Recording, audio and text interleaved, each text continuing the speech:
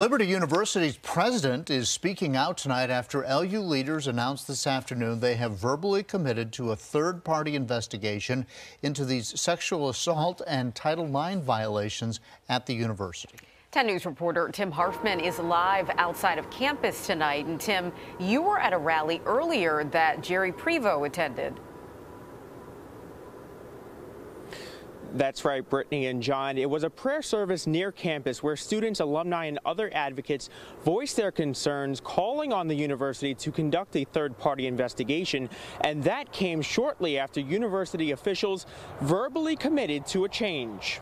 Standing alongside those calling for transparency Thursday was Liberty University President Jerry Prevo, saying he wants to listen to concerns. We're going to do our best to find out what has happened. We're going to do our best to correct it, and we're going to do our best to keep it from ever happening again. This rally came two hours after a news conference with advocates, including attorney Rachel Denhollander, internationally known for accusing U.S. gymnastics doctor Larry Nassar of abuse. Denhollander says she met with Prevo for 90 minutes Thursday, calling the meeting productive. What is taking place today is not the fruition of a personal vendetta.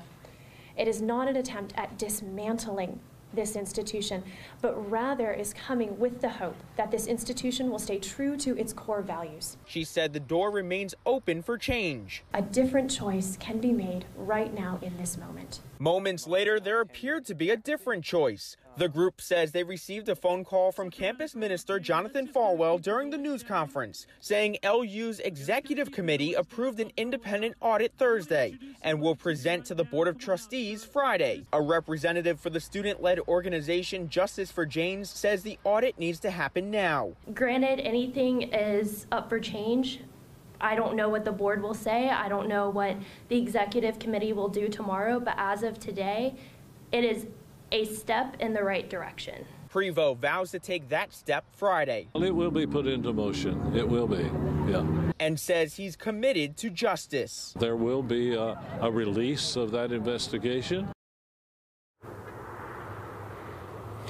I asked Dr. Prevo when he expects that investigation to begin and how long he thinks it will take. He said he doesn't have a date in mind right now, but the sooner the better. Denhollander tells us that this will be a process and it will take time for this to be done properly.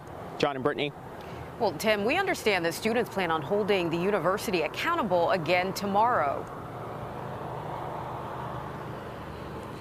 That's right. We're told that one group of students plans on rallying around 11:30 tomorrow morning.